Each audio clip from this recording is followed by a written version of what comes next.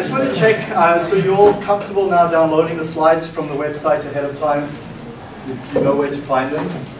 Yep.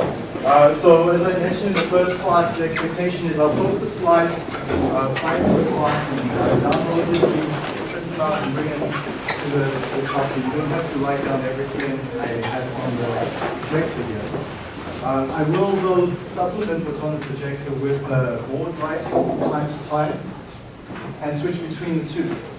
So uh, print out the slides with some space to add extra notes in, and that way you can get a full set of notes by the end of the week. Um, just a word on the slides. As I mentioned, I, I'm using Dr. Mhaskar's slides. Uh, I've taught this course for many years already, and so I've taken them, I've made some changes to his notes that have my style is uh, words that are in purple color um, are definitions. And the color of the road, I guess, is pink. Uh, it's a default color that the software that I use chooses. I don't pick it. It's uh, supposed to be a hyperlink. So if you see that, that brighter color in your notes or on, on the projector here, on the electronic PDF, you can click on it and go to a website that I usually give a bit more information on. So often it's a previous site or a YouTube site that shows a video of a reactor in action um, or, or something that supplements the material. And then I use other colors throughout the slides too. Also just regarding version numbering, one thing that happens in my slides is that I update them pretty much day to day. So you may have the version downloaded um, and then I've uploaded the new version to the website maybe a couple of hours later. One way you can always tell which version you have versus what I have is on this very front page, right at the bottom here is the revision number. So this is version 10, you may have version 9, for example. Don't worry too much if you've got one, one or two versions sync. Often the version number changes just because I put the spelling or a grammatic mistake and a bigger So it's usually not a big deal once your version That number will always just go up. It will right now it's 10. By the end of this course, it will be around about 150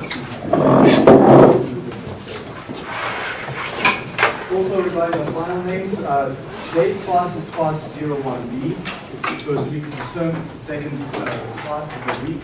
Uh, so there'll be 1A, which was yesterday, or two days ago, 1B, 1C, 2A, 2B, etc. We'll get up to, I think, this semester we have uh, 13 weeks, so we'll get up to about 13B right now. Just so that you know what, um, when the, what the PDF matches the class. And I will do that numbering as well in the course videos. So if you want to look back at the course videos and you want to find a specific video for this day, you look for 1B. Um, and that way you can, you can search uh, faster to get to where you want. Okay, so let's take a look at, at this evening's topic. This evening we're going to introduce some fundamental equations that we're going to use throughout the term. So it's important that the material we cover tonight, while it seems fairly straightforward, it's simply just a mole balance, something that you're very comfortable with in the 2D and 2F courses. It seems straightforward, but it is important to understand exactly what's going on every term in that equation is. We're going to then use that and build on it in the next few weeks. now, the principle we're following here with reactor design is to relate mathematical models of a reactor. And to do that, we have and should have the following in your mind. For a general reactor, we'll specify this later. So this is the general have inputs. So these are reactants we're adding to, to the system, and we have outputs as well that we hope to get from it. So that's the general, the general picture you should have in your head. There's inputs and outputs. And we'll characterize these inputs by certain reactants we add and their composition. At the outputs, we'll have certain products and their composition as well. This reactor, I haven't specified what it is. We will learn about a few in the next uh, few classes. We'll learn about batch reactors, continuous reactors, packed bed, tubular bed, uh, tubular reactors or plug flow reactors. So what we can call this, these, this type of reactor, we'll call this the contacting pattern. It's the way that we contact or bring the reactants together. So one thing to remember here is that our contacting pattern something we need to specify. And we can choose that. We can pick which type of reactor we would like. So, for example, contacting pattern, we could choose to use a batch reactor, or we could choose to use a plug flow reactor, also known as a tubular reactor, or we could pick a packed bed, or the usual reactor that we often use in these courses the CSTR, continuously stirred tank reactor. So contacting pattern is a characteristic of this block up here. One other characteristic that we need to be aware of is, let's just lump this under the general term and call it kinetics. So the kinetics tell us how fast or how slow things are going on inside that reactor. So if it's very fast, all we have to do is then resort to the chemical equilibrium equation of the reaction. Since the reaction is extremely quickly, it will achieve equilibrium and land up at equilibrium pretty quick. So we don't have to worry too much about the kinetics. But in many cases, we don't have very fast, we have to use the reaction rate. So if not, we'll use the reaction rate. And that's what we're going to cover this evening, is this reaction rate.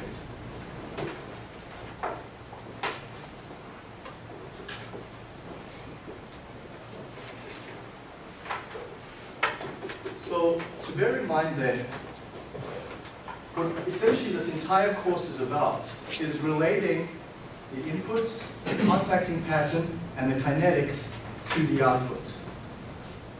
And we can write that mathematically, the outputs are going to be some function of what we put into the reactor, how we contact those inputs, and the chemistry that those reactants have with each other. So let's lump that in to a single word kinetics. So we're going to be building mathematical models that relate this input contacting pattern and kinetics and give us a prediction of the output. So we're looking to predict this output.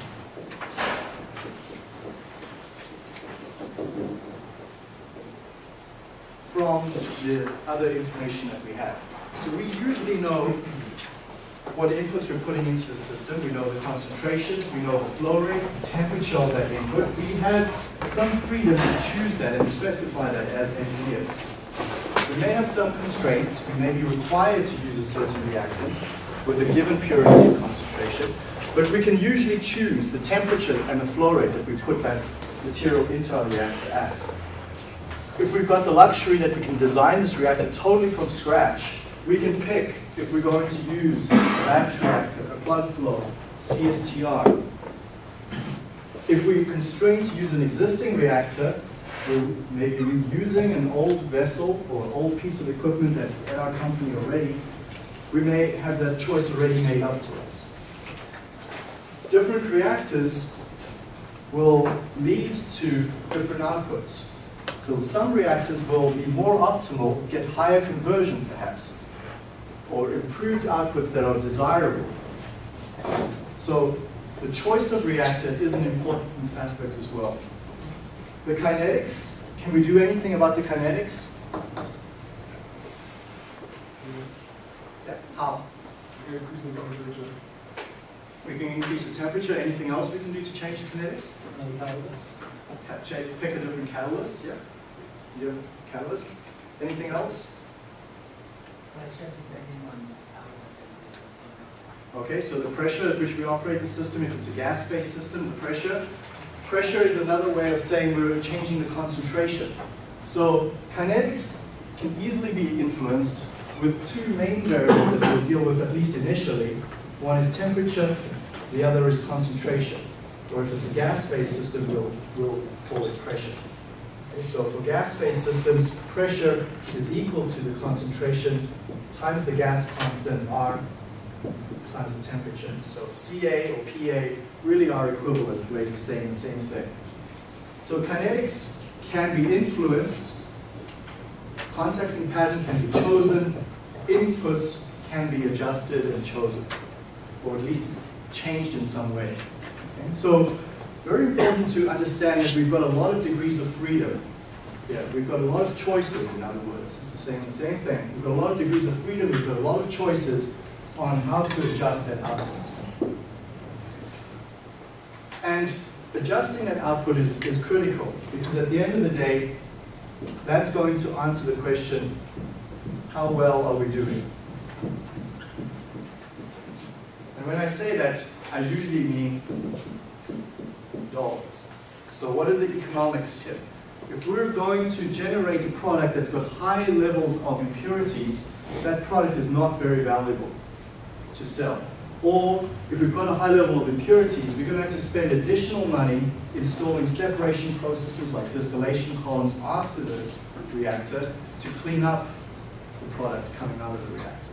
Okay, so how well we are doing drives the economics, drives the success, drives the salary, and drives the profitability of the process. So we can, we can influence that in a number of ways. And so that's, that's where we're heading. That's what we're going to learn here. We're going to learn this evening a bit, recap about rates of reaction and mole balances. Then in the next few classes, we're going to look at how we apply that to these different reactor types or contacting patterns. So the first thing to recap then is rate of reaction. This is something you're comfortable with from your chemistry courses, but let's, uh, let's be clear here we're going to say a reaction has occurred when a species changes its appearance or its identity.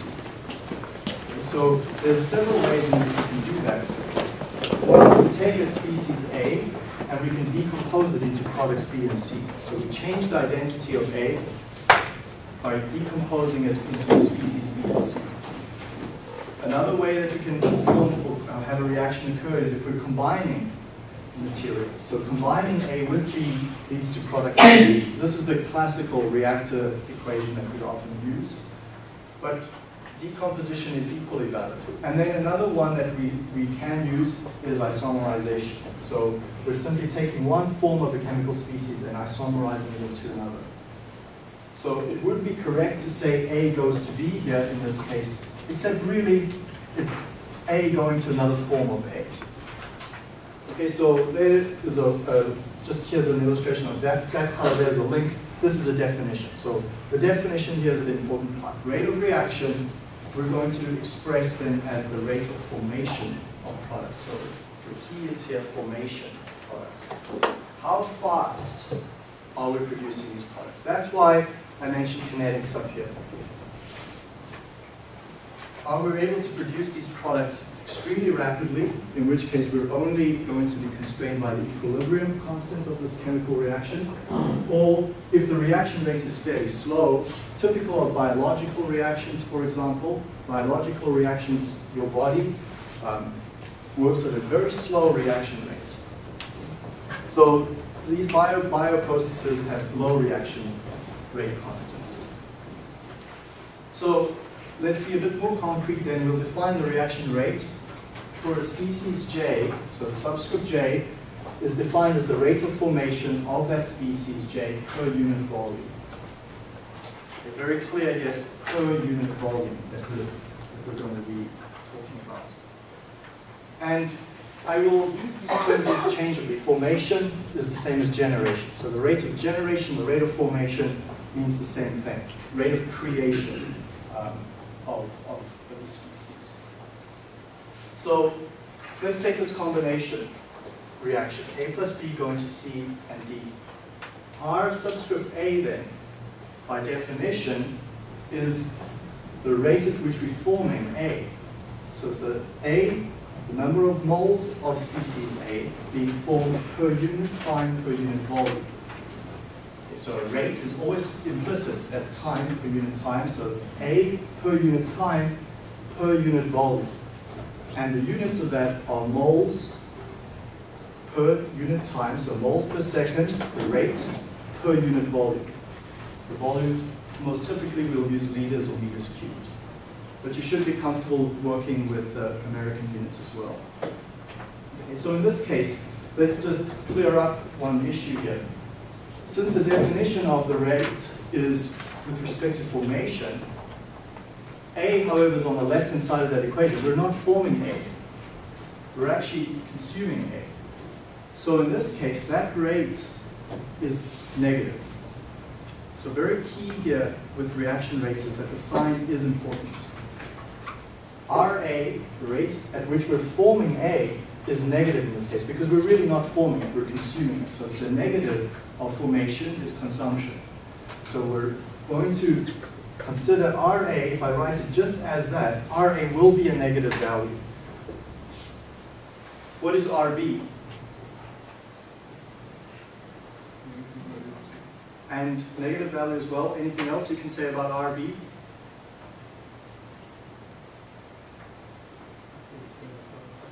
Be the same as RA. You say that as well? Yeah. RC? Positive value and equal to RA. Okay, RD the same. Okay, so let's then consider this definition just using these words now, disappeared and consumed being the same thing, the rate of consumption or the rate of disappearance, let's call negative RA, so take that usual positive quantity RA, as in this case RA is a negative value, put a negative in front of it, the negative times the negative gets you a positive quantity, now that's the number of moles of A disappearing, or moles of A can be consumed per unit time per unit volume. So negative RA in this instance is a positive quantity. so we're going to use this convention of minus RA all the time. So you must be comfortable with what that negative sign means and, and what its convention is. And very key is that the interpretation is minus RA is the rate of disappearance or rate of consumption.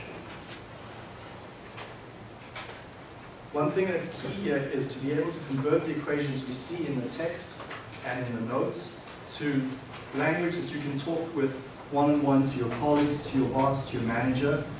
So you can convey the scientific notation in plain English to someone else. So minus RA, the rate at which we're consuming or using up reactants A. So one thing, let's just do a quick thermodynamics recall here. Reaction rate is an intensive property. Okay, so definition here, an intensive property is a property which only depends on that property on, of the system itself, for example, concentration and temperature, but is not dependent on the size of the system, or the configuration of the system, or the extent of the system. It's an intensive property, independent of, of volume, independent of size. So let's just make that distinction here. We've got intensive and then the opposite of it is extensive. So an extensive property is a property that does depend on the size of the system. So an example of an extensive property is mass. The mass of the system is very much dependent on the size of the system. Maybe another intensive property. Is volume intensive? Maybe an intensive property density. Anything else?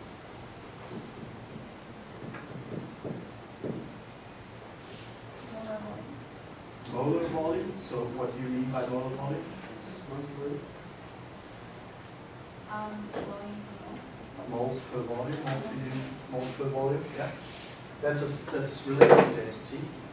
Uh, mass flow rate. So mass flow rate is in which units?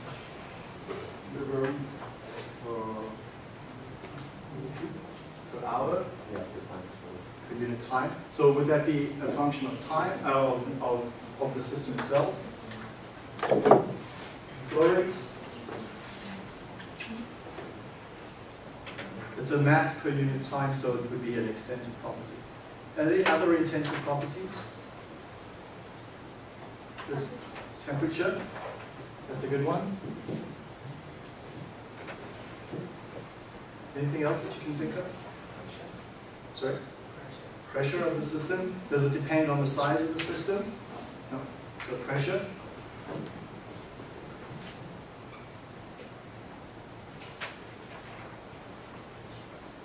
Viscosity would be which type? Intensive. How about entropy? Extensive. So the larger the system, the more entropy it has. Energy, internal energy. Extensive. Heat capacity, intensive. So one rule of thumb is if you want to take um, an extensive property, so for example, let's put a few out here that I just mentioned, mass, energy, extensive or intensive? per volume. So it depends on volume. No? So concentration is an intensive property. I'll talk about that one in a minute. Number of moles in the system, that's clearly an extensive property. The more moles, the, the, the, the larger the system, the more moles. Velocity, intensive, extensive,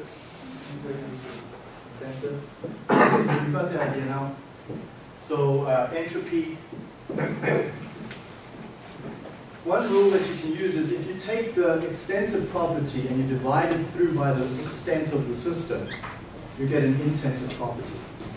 So to go from extensive to intensive, divide by the system's extent. By that I mean, for example, if I take the number of moles and I divide it through by the volume of the system, the extent of that system, I'm going to get moles per unit volume, i.e. concentration, and I land up with an intensive property. So reaction rate is exactly that. Reaction rate is, let's just go back to that definition, the rate of formation of the species represented in moles per second, so the rate, moles per second, per unit volume. Dividing it through by the volume makes that now an intensive property. So the fact that I divided through by the volume is what's causing, creating an intensive property over there. And so this is just a, that's a recap of something that you would have learned in thermodynamics. Now, we like intensive properties a lot as engineers. We really like them because we don't have to worry about the scale of the system. If I know the reaction rate, I know that applies whether the system is this big or whether it's a cellular level. So that reaction rate will hold no matter where I'm dealing with it. If I'm putting it into a batch reactor, a plug flow reactor, a tubular reactor, CSTR, doesn't matter. It doesn't depend on the reactor's configuration. Okay? It's not a function of the configuration of the reactor, it's not a function of the size of the reactor. So we really like intensive properties because we can use them everywhere. Okay, any doubts, any questions on, on that? How would you, how would you categorize a ratio, like the Reynolds number? The Reynolds number, can you talk about the Reynolds number of this pen flying through the room? Does it have a diameter? It's flowing through a fluid of a certain viscosity? It has a Reynolds number. For sure it does. If I throw, if I move a particle through a fluid, so if the fluid here is air, there's a Reynolds number associated with this object. Is that Reynolds number a function of the object's size? If I make it a bigger, if I make it a bigger object, the extent of the system gets bigger. Okay, so Reynolds number is rho dp divided by mu. So rho d, sorry, not rho dp. So it's the velocity at which I'm throwing that object. Is that a function of the of the object? Velocity, intensive or extensive property? Intensive property. Okay, so velocity can go here, there it is. D, diameter, definitely a function of the extent of the object. Rho, the density, intensive property, not a function of the object. Mu, a function of the fluid that it's in, so it's not really a function of the object as well. Okay, so yes, I would say the Reynolds number is a is a uh, is dependent on the size of the, the object, so it's going to be an extensive property.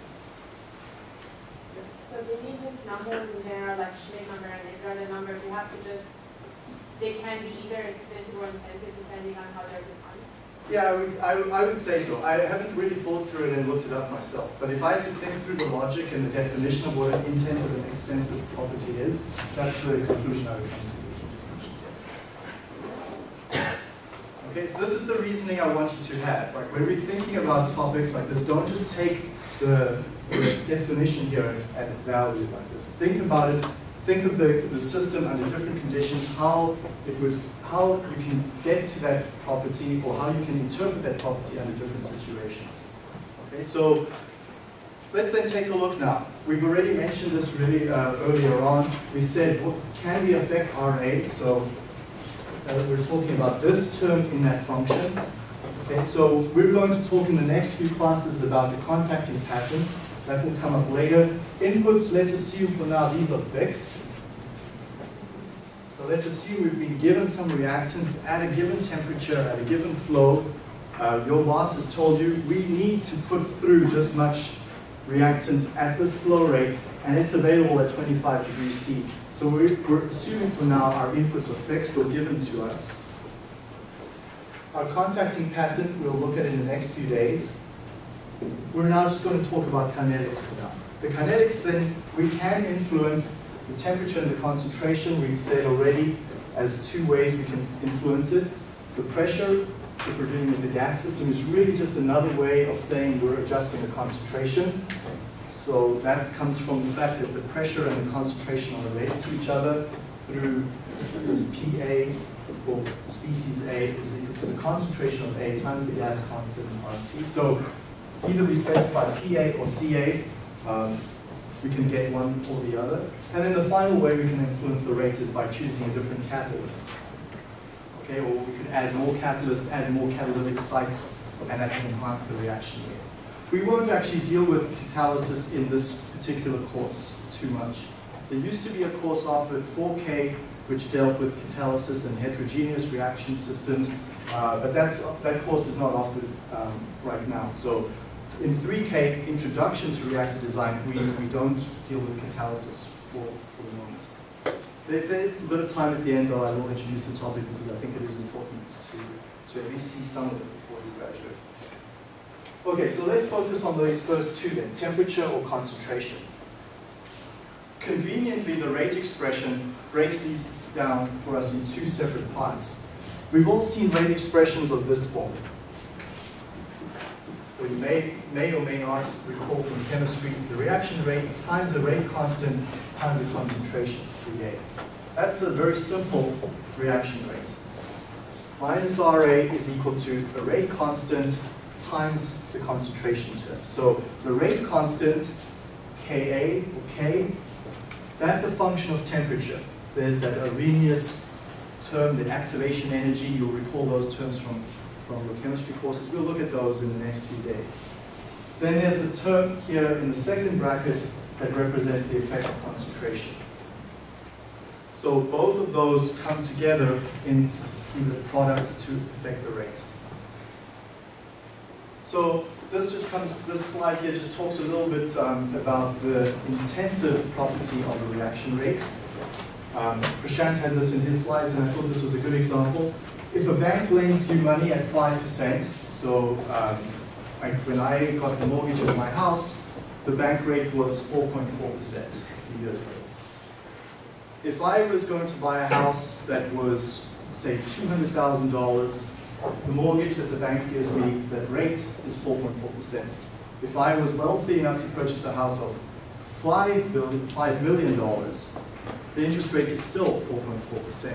Doesn't matter how much money you want from the bank, the interest rate that they charge you to lend that money to you is the same value, percentage-wise, doesn't change. So the bank's interest rate is independent of the amount of money that they will lend you. For the vast majority of cases, especially for mortgages. Mortgages, no matter how cheap or how, how, how expensive your house, it's the same rate for everyone. Reaction rates are the same idea the amount of reaction occurring is dependent on the volume of the system? No, the reaction rate is independent of the volume. It's an intensive property because we're divided through that by the volume. But the number of moles per unit volume does affect the concentration. So the number of moles per unit volume is this idea over here. So number of moles, which is an inextensive property, divided through by the volume, gets me a concentration. Concentration is an intensive property. So this number of moles per unit volume, which determines concentration, concentration then goes and affects the rate. So that's, that's something that, that is important to understand, is that relationship there from the number of moles in the system. Number of moles clearly is an extensive property. If I've got 3 moles or 25 moles, it's an extent of the system. But per, once I go to a per unit volume basis, I'm now in an intensive, intensive equation or intensive property that's not going to, um, to change depending on the scale of my system. So these concepts of intensive, extensive, concentration and rates are, are basic chemistry concepts that I just want to make sure we're all up to speed before we go on. So let's take a look then at a few rate expressions. One of the simplest ones is this one I have up on the board here already. The rate is proportional to the concentration. So that's simply another way of saying in English what's up there mathematically. The rate is proportional to the concentration where that constant of proportionality is lowercase k. Or the rate of reaction is proportional to the square of the concentration. Or the rate of reaction is proportional to a complex function of the concentration. This particular form over here is very common in bioreaction systems. So the bioreaction system, we get fairly complex rate expressions occurring. This rate of reaction here, the fact that it's raised to the square means that if I've got a very high concentration of A in my system, I'm going to get a very rapid reaction occurring, depending on what that constant proportionality is. Okay, so if I have the same lowercase k value here in these two instances, this reaction down here is going to proceed at a much faster rate. The rate of consumption of A is going to be much faster than if this were the rate expression for, this, for a given k, the same k value. Now, how do we determine these k's? k1, k2, or just the regular k over there? We're going to look at that in a few weeks from now in the course. We're going to look at how we collect rate data, how we run expression, uh, run experiments that will get those rate constants for us. So if I don't really know how my system's reaction really looks, let me say I postulate or I hypothesize or I guess, whatever you want to call it, trial and error, you guess that the reaction rate expression is of the form K multiplied by the concentration raised to some power n. But I don't know what lowercase k is, I don't know what lowercase n is. I can determine that though from running a specific set of experiments that will identify those values for me, and I can then go ahead and compute those two. So we'll, we'll get to that in a few weeks' time in the course, and, and I'll show you how to do that effectively. So for now, though, in many of the exercises, that information will be given to you. Okay, let's move on then and talk about the general mole balance equation. This is an equation that's going to reoccur through the next few classes as we look at different contacting patterns. So what we're going to look at is we're going to derive this equation for a general system. I'm not going to specify yet whether this is a batch reactor, a plug flow reactor. It's just a generic system that's shown by this ugly shape up here. And what we're going to do is we're going to look at a mole balance for a given species J. So only for one of the species, we're going to do a, mole balance at a particular instant in time. So freeze time for a minute. Let's do a mole balance. There's a certain flow of that species into that system in moles per second. So Fj0 is the flow rate of species J into the system, moles per second. Flow out of the boundary, Fj, moles leaving of species J per unit time. Inside this boundary, there's a given number of moles, Nj. So the general equation there, it's a mole balance. Let's be clear, it's not a mass balance. Okay? We do not do mass balances in this course. We're going to be dealing with mole balances. Talk about why that is in a few classes or in class two from now. We're dealing with the mole balance only. We're going to take in plus generated minus out, and that's whatever's left over then is accumulated in the system. Okay, so moles coming in, moles leaving. We're going to generate moles. Okay, so this is why it's not a mass balance. Mass balances, we don't generate and consume mass. Mass balances, we have in and out and accumulation, but for a mole balance, absolutely we can generate species inside that boundary. Rate of generation of J by chemical reaction within the system, moles per unit time, is then, we'll call this G of J, and G of J moles per unit time. Every term here has the same units, moles of time, of the rate flowing in, moles per unit time, the rate which we're generating, leaving, and then whatever's left over is the moles per unit time remaining in the boundary.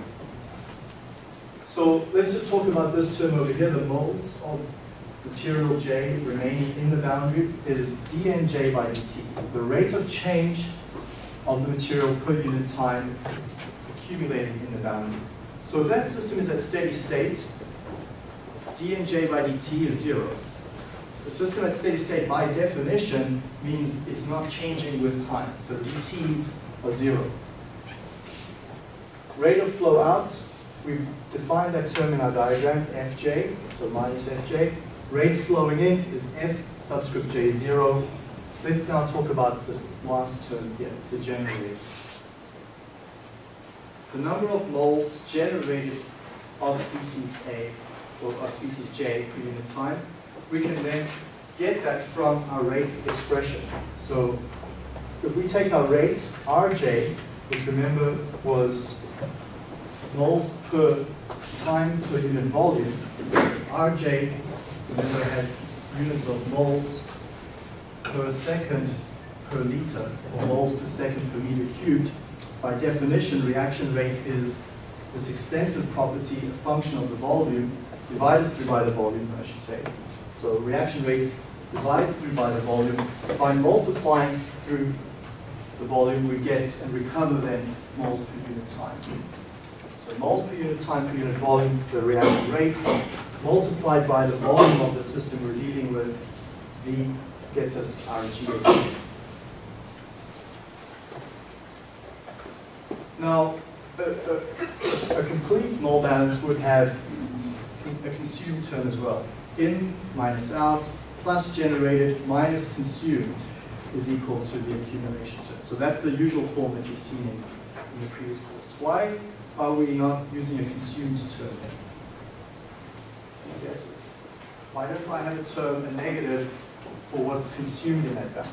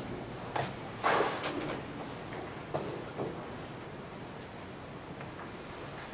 Um, okay, it means that the generated terms takes care of what I Like you, you get something more, I mean that it's more gets generated. Right. So the, yeah, perfect. So your name is? Um, AIMA. Aima. So Aima is right on. But there's no consumed term here because we're saying our generated term takes care of whether it's generated or consumed. If it's consumed, the generated term will just be a negative value. Okay, so generation, the opposite of generation is consumption, or the opposite of formation. So we simply use the sign of G to take care of the fact whether the species is being generated or whether it's being consumed. Okay, so for now, we won't, we won't see a consumed term in there because it really is just taken care of by the generated term. Next, then, we can look at this small, that volume, and we can divide it into small regions. So here I've got an arbitrary uh, volume as shown here by this diagram. If I take this volume now and I divide it through into small regions, and make the assumption then that within each region, I choose those small subvolumes to be small enough so that all variables are constant within that tiny volume, or that small subvolume. I can essentially write that same expression, G is equal to R times the volume, but I'm writing this now except for every small subvolume. So for a small volume, delta V multiplied by the reaction rates that occurs in that subvolume Remember, reaction rate is an intensive property. It doesn't depend on the volume. So I've got this reaction rate occurring multiplied by the small subvolumes volume. That's going to get me the amount of G that's being generated. So the incremental amount of G that I'm creating, the rate of generation within that subvolume. And I can take all those small subvolumes and add them up. So I take that big volume, divide it into m smaller regions. If I sum over those m small regions, I can get the total amount generated. So capital GJ the total amount generated is equal to delta GJ for the i subvolume. So i is equal to 1, i is equal to 2, 3, 4, up to capital M. So, uh, expanding that term then, that's the rate for species J in the ith volume multiplied by delta VI. And the reason why we've gone to this, these sets of deltas really is the moment you see this, you know that there's going to be an integral coming up. Delta VI and M, the number of subvolumes are chosen to go to infinity. That would imply also that the volume sizes goes to zero and we can rewrite that then as the integral over the entire volume is the reaction rate times dV. So that G of J term then, that reaction rate of, uh, sorry, the G of J, the, the amount generated in the mole balance, I'm not given that. I need to, to get it from some, some way. Well, I've got Fj0, I know my flow in, I know my flow out. Nj is going to be whatever's left over. I need to specify G of j in some way. And this sub-volume concept allows me to get to that.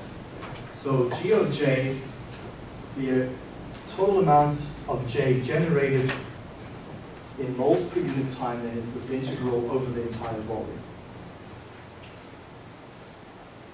And this is then equation 1-4 in the course notes, in the course textbook Fogler. Okay, so when you see these equation numbers, they don't refer to the notes, they refer to the textbook's equation numbers. So if you want to read up a bit more about the derivation, maybe you quite, didn't quite understand how I just explained it, please feel free to go look up equation 1-4 in both of the yellow textbooks, either the new one or the old one. For the, um, for the textbook, the book house has to stay on the equation. I, where they differ, I will put two numbers. If, they, if I only give one equation number, it's the same one. Okay, so let's just take a look here. Rj that is the reaction rate. And I haven't taken it out of the integral. Okay. Rj I've left inside the integral. We're integrating over the entire volume. But I've said here, we cannot take Rj term out of the integral. So I, I, in general, I cannot write the following. I cannot write g of j, so I cannot write that is equal to rj times the integral dv over the entire volume v. Doing so implies that rj is not a function of the volume. If I write that, it implies that Rj is independent of the volume and can be taken out of the integral. But I said to you earlier in the class, the reaction rate is independent of the volume. It's an intensive property. If you look back at those earlier slides, I said it's an intensive property, not a function of the size of the system, not a function of the volume. Now I'm telling you, we cannot take Rj out of the integral. Okay, Rj is a function of the size of volume scale of the system. What's going on here?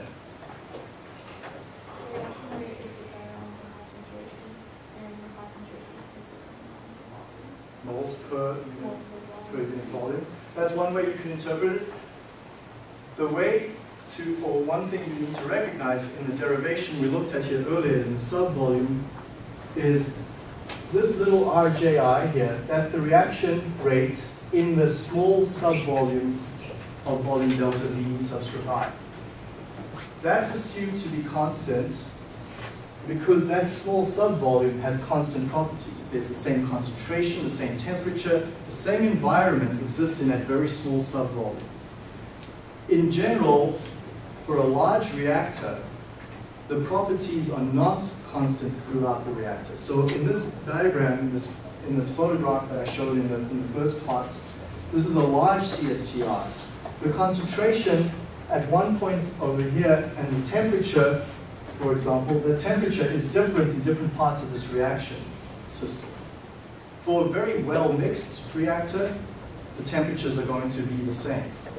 But if I have poor mixing in there, or there's dead spots in the reactor that don't get well mixed, the temperature, the concentration, some of these properties listed up here are going to change and be different at different locations in the reactor. Okay. That means then that the reaction rates in different parts of the reactor are different. So for a very large reactor with dead spots, one way to see that is if I take a very poorly designed reactor with square corners and no baffles, and I have a mixer up here, it's going to mix very well in the upper regions, but there's going to be dead spots here in these corners where this material down here doesn't get contacted as well as the material in the rest of the reactor. So the temperature, the concentration at these regions in the reactor are not going to be the same. This temperature up here is not going to be the same as the temperature down there. So for that reason, we cannot integrate, uh, cannot take RJ outside the integral unless we make the assumption that the entire reactor conditions are homogeneous or the same. So unless we make that assumption, we have to leave RJ inside the integral. Okay, so we're going to see a few reactors in the next few classes where that reaction rate is constant everywhere in the reaction, and that means we can take it out. We're also going to see reactor systems where it's not true. The most obvious one is a plug flow reactor or the tubular reactor, which is essentially just a big pipe that's very long, and the material flows in over here, so I'm putting in my reactants A and B, and as this material flows through the pipe, it's reacting. As it's reacting, it's releasing energy. As it's releasing energy, there's temperature. Temperature is changing through time and through distance along this reactor. Coming out here, I'm going to get A, B unreacted, C and D as products, for example. So at different points along this reactor, I'm going to get different concentrations, different temperatures. The conditions inside that tubular reactor are not constant throughout